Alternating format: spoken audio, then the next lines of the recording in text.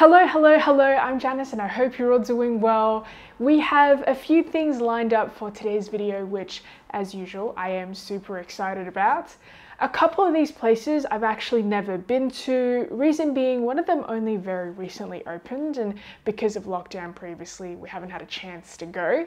Another place I've been to many a times, but I've just never had the opportunity to feature it, so I'm really excited to show you and tell you all about it. Before we start, I want to thank Squarespace for sponsoring today's video.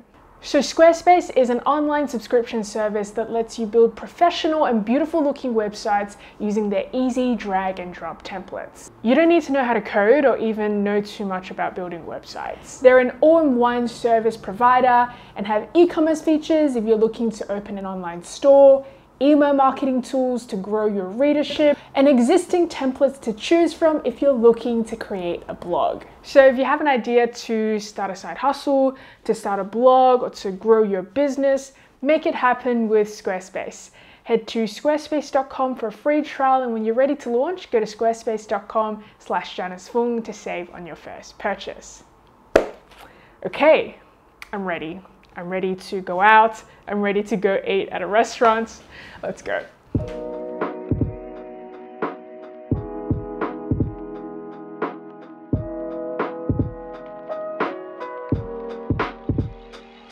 Okay, so I've just arrived at Siroo Rice Cake Cafe here in West Ryde. What this cafe is known for is, like its name suggests, rice cake and it's Korean rice cakes. They have really traditional rice cakes and they have more like fusion type rice cakes as well. So how it works is once you walk through the cafe, there is a space where they have a whole range of different rice cakes and you just sort of pick which ones you would like and you pay at the counter. What's so special about this cafe is I think they're one of the first rice cake cafes here in Sydney and their head chef at this cafe, he has over 30 years experience making rice cakes.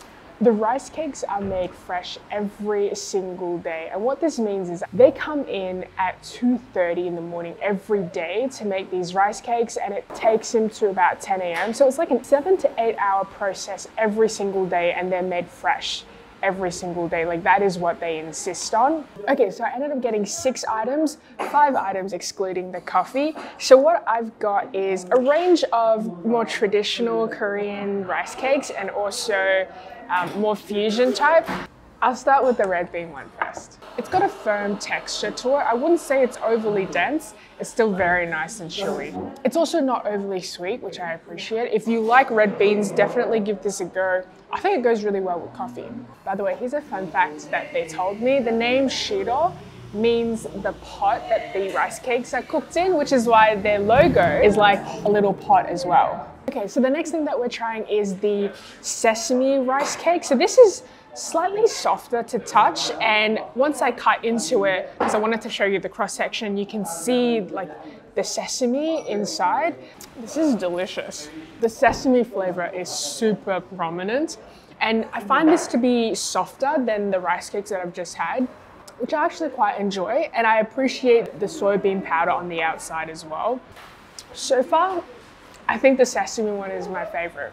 I've only had two. Okay, so the next rice cakes that we're trying is something that is super popular in Korea right now. This is the Angkko patterned rice cakes and inside they have red beans. So this comes in three different colors. It's got a really nice chewy texture to it. It's not as soft to touch as the sesame rice cake, but I do really like the presence of the red bean in here. There's not too much where it's overwhelming, it's like just enough. So the coloring on these rice cakes come from all natural ingredients. For the purple one, I believe it was yams. And then for the dark green one, it's from something called mugwort. Okay, let's give it a go and see what this tastes like. Perhaps it's just my unrefined palate. I can't really taste the difference between the two. All right, the next thing that we're trying is something called the pumpkin cake. It's warm to touch, but it looks like a bar of soap while I'm holding it. Okay, I've just cut into the pumpkin rice cake and I can see what I'm assuming is like a pumpkin puree. The exterior, it is a little bit sticky, And just looking at it, you might mistake it for like a sponge, but it's definitely not like that in terms of texture. It's a lot denser, it's a lot less airy, and it's also more chewy as well. And last, but definitely not least, strawberry mochi. It's also uh, quite quite dense. The consistency and the texture of this is very similar to the sesame rice cake, so it's a lot softer. Like when you touch it, it changes the shape, if that makes sense. Okay, so as you can see in the cross section of the strawberry mochi, there is a strawberry and it's surrounded by red beans. This is exactly what you would want a mochi to be. The strawberry is sweet, the exterior is soft and chewy, and it'll also definitely fill you up as well. Okay, I decided to finish off my time here at Siroo Rice Cake with a green tea bingsu. What I love about this place is that they have different size bingsu. One's for you know, one to two people and then three to four and then more. And so this is a size just for like one to two people, which is perfect because usually I'm dining by myself. So there's a big scoop of ice cream and then it's drizzled with some condensed milk. Underneath that there is the red bean paste, which is made in store. And then there's also the injeolmi scattered around. I'm super excited to try. It looks absolutely amazing. So this shaved ice, just looking at it, looks very fine. Oh my gosh, this is delicious. The green tea, like matcha flavor, is so prominent. The shaved ice, it's so fine. Once you like bite into it, it just completely melts. If you come here, you should definitely try the bingsu. And if you don't have any friends to bring along to this cafe, just order the one that's for one person and eat it by yourself. Okay, let me try the injeolmi as well chewy, it's delicious, it's got soybean powder on the outside, and then making these rice cakes fresh every day. You can really tell the difference. You can tell the difference between this and like rice cakes that have been frozen and then reheated. It's just the texture. Try it. If you come here, definitely give this a go.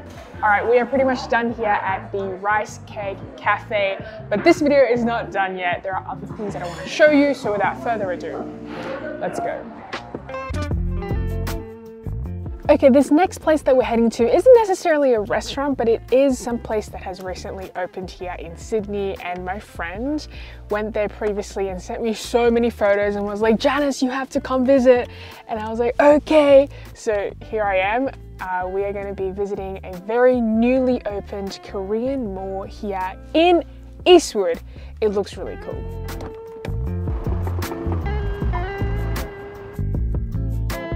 All right, this is what I am talking about, K-Mall 09. So it's kind of where Dan Murphy's is. It's at the very end of the strip in terms of the Korean side of Eastwood.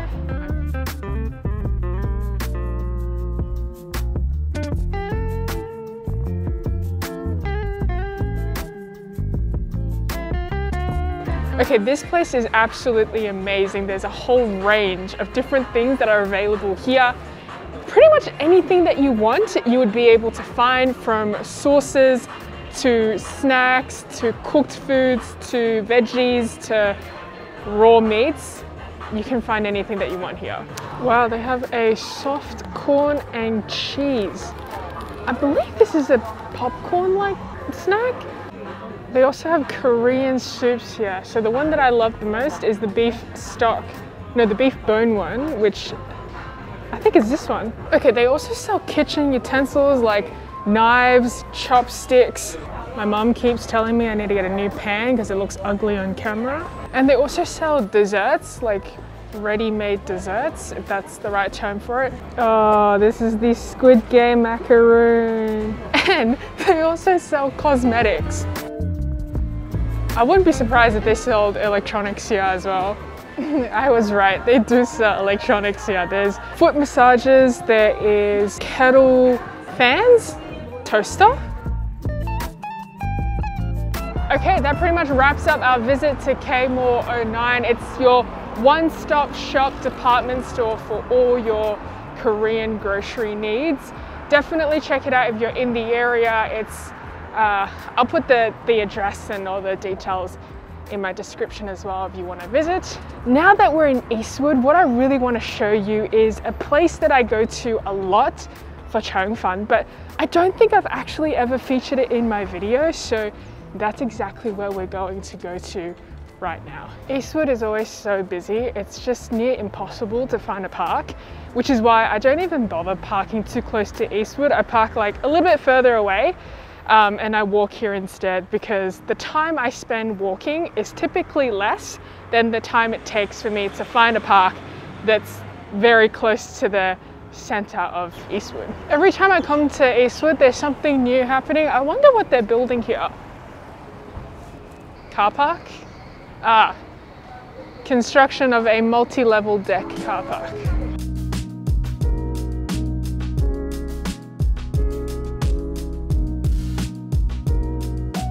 I realized I've pretty much featured every place in this little plaza. There is Sea Bay Kitchen, we, which we featured in our Xi'an episode. There is the Malatang, which we featured in an episode as well, when I wanted to see how much my brother and my sister could consume. And now we're heading to the traditional Cantonese taste with amazing congee and also amazing cheung fun. I am so excited. Okay, I ordered everything to go, so I'll see you in just a little bit when I've picked up all the food and I'm settled and I'll see you in just a bit. All right, we are back and we are gonna be trying all the items that I've ordered from Eastwood. So I got three items. I got the prawn cheung fun, I got the char siu cheung fun, and I also got a congee.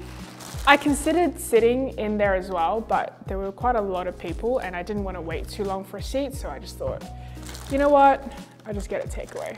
Cheung fun is super delicious and I have it a lot, especially at Yumcha, but it's actually very difficult to do it well. You have these very thin layer of rice noodle that you steam it and then you put, you know, fresh ingredients on the inside. There's a whole range of different items you can put on the inside. There is prawns and char siu, of course. My first bite didn't have any prawns on the inside, but this, this rice noodle layer, it's very thin, quite soft, but not to a point where it just breaks apart.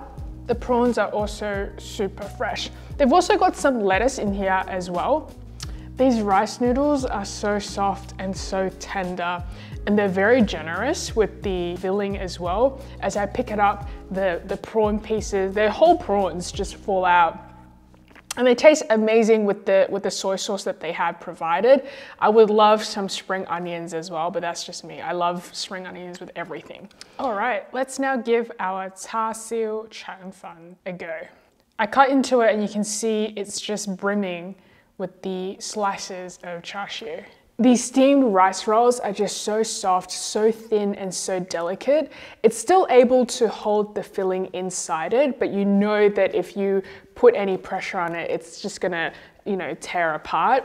The char siu is absolutely delicious. They've sliced it thin enough so that they can fit multiple slices of char siu within the different layers of the rice roll. If you're in Eastwood and you know you are looking for a snack, or if you're looking for a meal, definitely, definitely try their Cheung Fun out.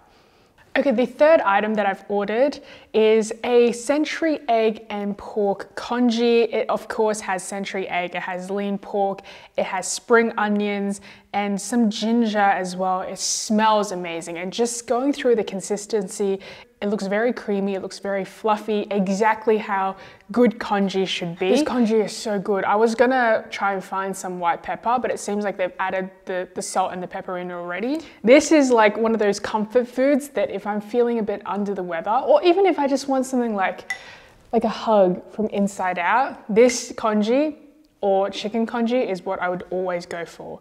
The consistency of this jok isn't too thin, but it's not overly thick either. It's sort of like just right. It's quite fluffy. It's quite creamy. If I had it my way, I would add a whole bunch more spring onions, but uh, it's okay. It's okay. All right, I am going to go ahead and finish the rest of this congee. This is pretty much it for the video. Thank you so much for watching till the end. I post new videos every week. Check them out if you have time. I hope you have an amazing rest of the week and I will see you in my next video. Bye.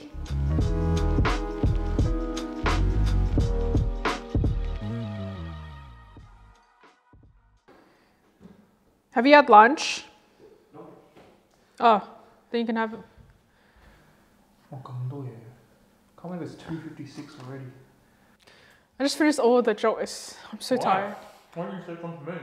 I didn't know if you wanted any. I wasn't sure if you, you had. I wasn't sure if you already had food.